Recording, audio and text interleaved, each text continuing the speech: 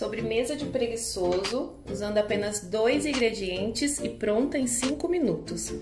Nós vamos usar aqui dois cremes de leite, de preferência gelado, um suco em pó de abacaxi já adoçado. Aí agora nós vamos bater.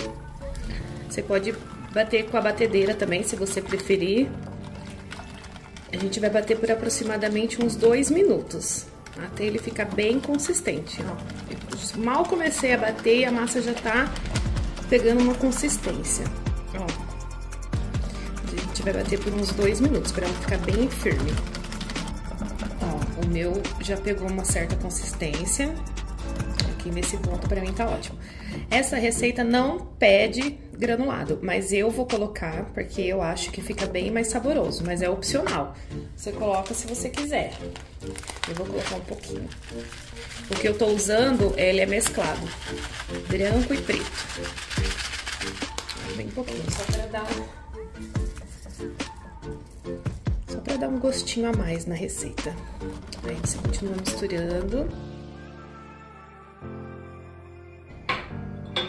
Agora que o nosso creme ficou pronto, né? O de abacaxi.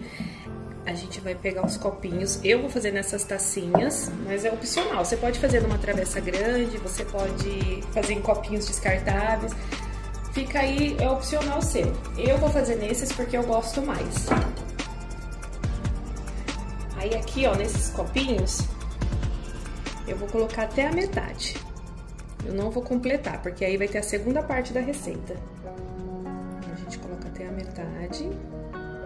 Agora que a gente colocou até a metade, a gente vai reservar e a gente vai para a segunda parte da receita. Dois cremes de leite. O que muda nessa parte aqui é o sabor do suco que a gente vai usar. Que nessa receita a gente vai usar o suco de morango agora.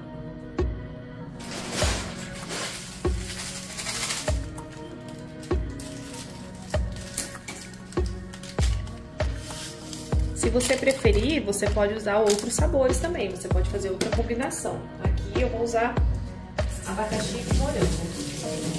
Então, agora nós vamos bater o mesmo processo da primeira parte, aproximadamente uns dois minutos até ele ficar mais consistente, mais firme.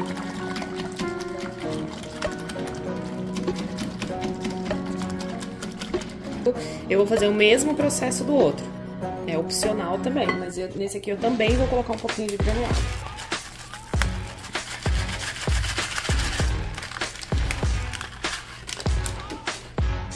Mistura. Agora a gente vem com o nosso creme de morango e a gente completa as tacinhas, ó. Vai ficar meio a meio. Olha isso, olha que bonito. Vou fazer isso em todas elas.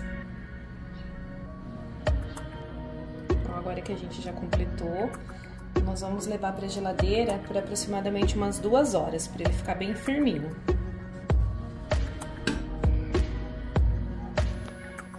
Nossa sobremesa já ficou pronta, ficou mais ou menos duas horas na geladeira.